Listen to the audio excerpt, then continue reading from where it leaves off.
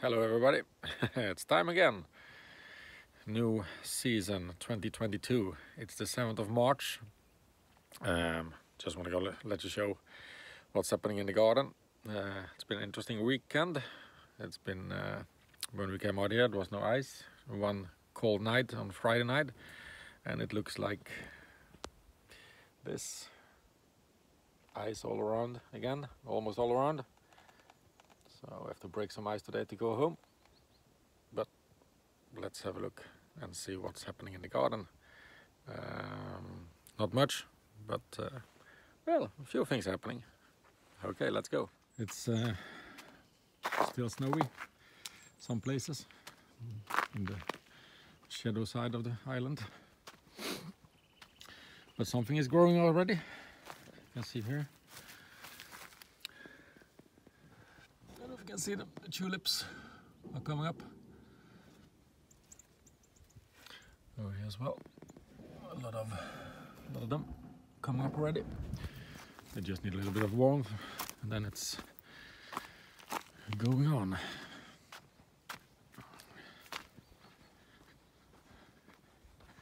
It's gonna be a long shot, this one. Let me see what's in this box as well, this crate.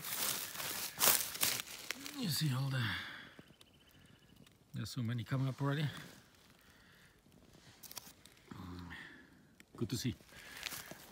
There's a power in the soil. There's the greenhouse. Nicely in the sun. Always good to see the sunshine on, on it. Nothing so much is growing, but down here, here's a rhubarb. And slowly going down. You see it's coming up. So they're still alive. It's good to see. I left some tulips down here as well. So they're coming up again as well. What I have to do this year is to the drainage from the house here.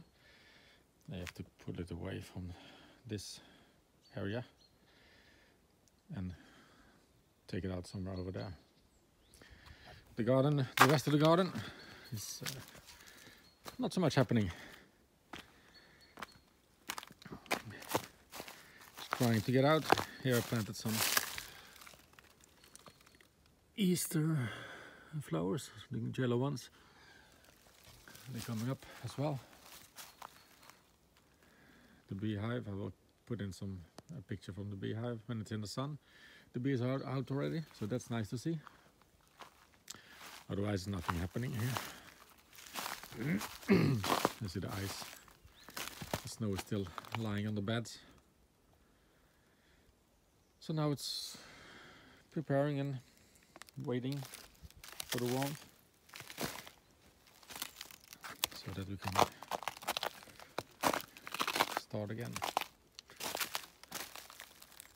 They're still alive, the strawberries in here. And then here I put potatoes already for in the in the autumn or start of the winter. So if they get keep going. Here's still the old mache salad. It looks eatable. Looks quite nice. Has some color, but we'll leave it like this. That's about what it is right now.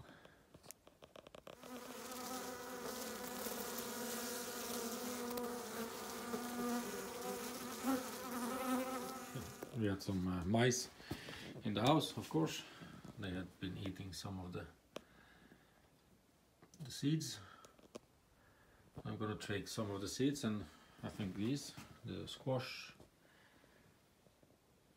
the cabbage, and I think this is uh, winter salad. I'm gonna put them in the, the house, uh, the uh, box that I built last year. Gonna take some broccoli as well and try to start them in the with a it's like a, a greenhouse. So this is a cold greenhouse and see what happens. So I'm gonna put some seeds in here. close the water them and close it and see what's happening. If it's growing in a few weeks or not. And these are the ones going in. I'll have to try why not? Actually it's already uh, much better climate in here. When I close it down I got some put some water on it. Uh, you see the soil is very nice. It's very uh, loose. So it's it's another temperature in here because in here I can't do anything. I can't I can't go it's it's ice. In here I can all go all the way down. See it? Nice. Okay. Start of the season in here. See if that's happening. I put in some uh, dill on the right some cabbage in the middle some uh, mache winter salad on the left and in the back I put some the butternut squash already. Let's see if it happens, just a test. If they come up, we can plan, replant them or maybe let them leave them in here so they can grow out all the way in the summer. But we'll see what happens. Hmm, fun.